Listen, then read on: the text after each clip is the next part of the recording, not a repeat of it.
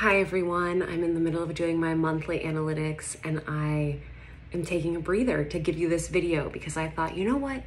It might be fun to talk about numbers. And I am sort of a numbers person. I always loved math as a kid and worked in finance for a while. And but I will say my Excel skills are super basic and I a few people have seen me real time doing Excel and they're like what? And I'm just like, I know I should take a course, but I just sort of stumble my way through. But with that being said, as a business owner, you know, even as basic as you're beginning to do these spreadsheets, there was a time this year where I'm just like, I don't care how basic, how beginner this is. I need to have some tracking of these numbers.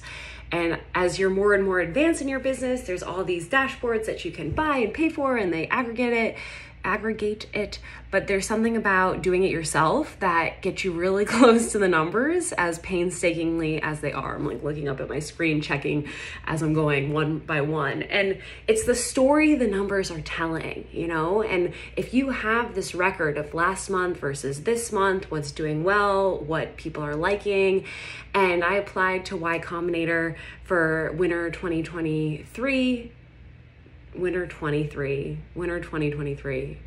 You gotta forgive me. I've been staring at this spreadsheet for the past hour or so. And you know, apply to YC and like this video happens to get a lot of views comparatively to other videos that I've done on my YouTube. And if I wouldn't have been checking this, I would have no idea. And there was many years of my business like the first three of my last business that I just didn't check the numbers. And again, how basic they are, I'm checking the numbers, I'm getting this information. And wherever you are in your business, there could be some fine tuning, some up leveling around the numbers and remember they're telling a story. And so when i do my numbers i bold like the most interesting things that i'm seeing. Oh wow you know 94 people clicked my social connect page through my click through on on say my web page interesting you know what could i do to make that a little bit more interesting?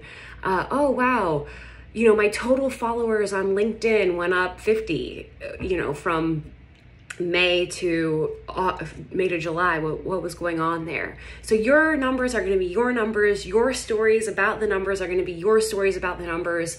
If you feel scared of your numbers, I get it. I so get it. And I would do this. And I still sometimes do this. I think this is a natural resistance, a natural, um, like maybe it's self sabotage, the fear of success, fear of failure, whatever you want to say.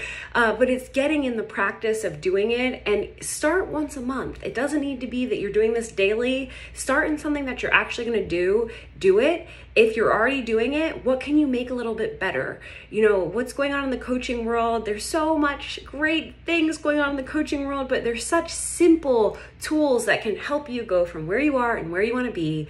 And these questions of what's working, what's not, now, now what, and using the numbers to tell a story can be a really nice way to do that. So I hope this is helpful.